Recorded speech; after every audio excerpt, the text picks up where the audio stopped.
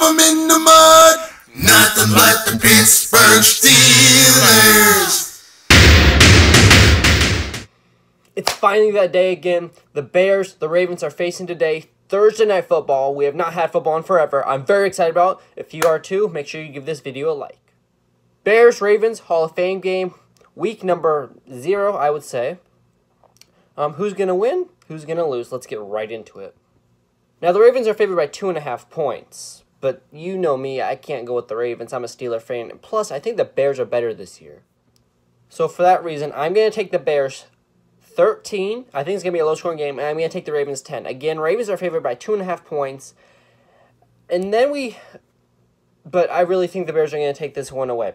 But I think that the bigger question here is not who's going to win the game, but who's going to play better. Because, again, it's preseason. It doesn't really matter what your record is in preseason. So let's get right into who's going to have the better team and why one team's going to win over the other team.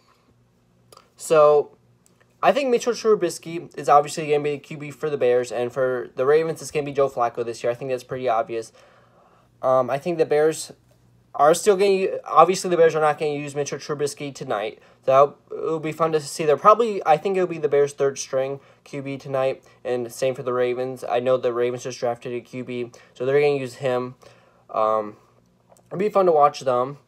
But I think the Bears are going to have better quarterback play tonight and that's why the Bears are going to win this game. So let's break it down even more. For the Bears, they have three main QBs, obviously Mitchell Trubisky. Then they have Tyler Bray, which we may see tonight, or the other person we would see, which is a former Chiefs quarterback, is Chase Daniels.